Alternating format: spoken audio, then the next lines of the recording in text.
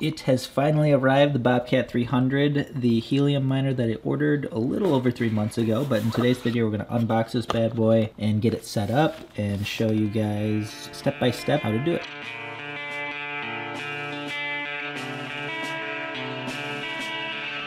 First thing in the box is this little troubleshoot guide that shows you kind of how to set it up with some frequently asked questions.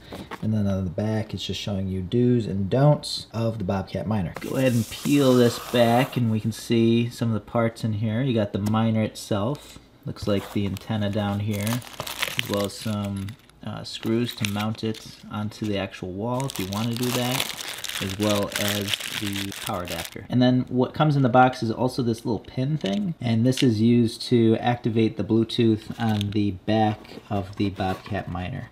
So we'll do that later and show you how that works. As for the back side of the miner, you have the antenna plug-in all the way to the left, the Bluetooth activation hole there to the right of that, and then the next two slots you don't really need, and Ethernet if you want a more stable connection you can run a cord to the Bobcat miner, and then lastly, the power adapter insert. So I went ahead and screwed in the antenna, as well as plugging that into the back of the miner, as well as the power adapter. Something to mention also is the do's. So obviously for this miner, you wanna put it indoors. And then I am gonna be using an ethernet cable to make it more stable. And uh, basically it says connect the antenna before actually powering on the hotspot.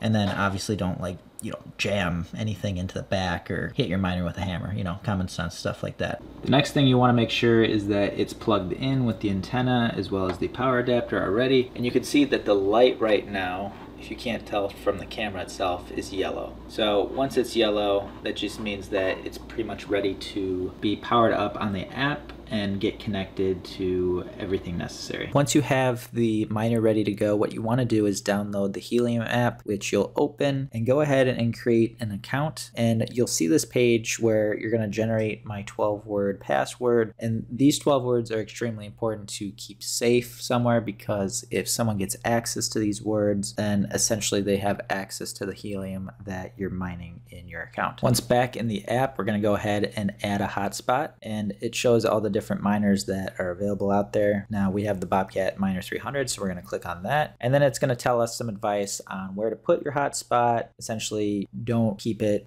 in an iron box or anything like that. You want it closer to a window. You want it to have a open environment where it can receive signals. And once you click through that, you'll have this show up where you have it plugged in. Like I showed you, the light is yellow and ready to go. So I can click on the I'm powered up. Helium would like to use Bluetooth. Basically, you're going to say OK. And now we're going to activate the hotspot and make sure that it is blue. So this is where you pull out the pin that was provided within the box. And after inserting the pin for about five seconds, the light went ahead and turned blue. Now I'm gonna go ahead and click scan for my hotspot and it's scanning for the hotspots. It found the one that I have uh, set up, so we're gonna go ahead and click on it, and it's connecting to the Bobcat miner. Then you're gonna go ahead and click either the Wi-Fi that you use or whether or not you're gonna use an Ethernet instead. And if you do get an Ethernet cable later, you can go ahead and plug that in. It's not a you know one-time thing. You can change it at a later point if you decide you want the Ethernet and a more stable connection. Then it's gonna ask you for the hotspot location itself, so you wanna make sure that you give access to your location. When you register that location, it's important to remember that you're not supposed to be moving your helium miner around and that location of the antenna should pretty much stay permanent. Now, if you do decide that you need to move it to another location or you're moving or something like that, every time you do that, it's a $10 fee in order to move the location of your miner. And when you set it up, initially, it pretty much just says, hey, everything's prepaid. So there isn't any cost when you set it up. It's just if you decide to move to a new location, it's gonna be 10 bucks. Then you need to set up the antenna. So it defaults to four. So I'm just gonna leave that. And then for the actual height of the antenna, it's just asking how far off the ground you are. So I'm in a city and I'm on the third floor. Then you'll click through to register the location. And if you do move the antenna later, you have to pay a fee in order to move the hotspot location. But you can see right now, it just shows syncing and and this can take up to 72 hours. That's what I hear. So realistically, it's pretty easy to set everything up and it's pretty straightforward. So looking forward to actually mining helium and I'll give an update, you know, once it's actually synced and probably like a week after how much helium I'm actually earning. In order to get an idea of what we could earn with our helium miner, we can look at the miners that are around me. You can see this one set up two hours ago, that's me. While we have another miner being set up six days ago, and then the rest range from two months ago to two years. And what's really interesting to me is the